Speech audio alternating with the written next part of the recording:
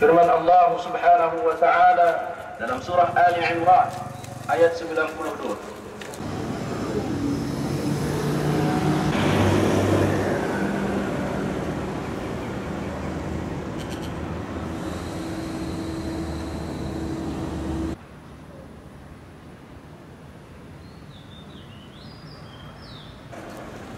dengan memperbanyakkan amalan-amalan kebaikan segala larangannya.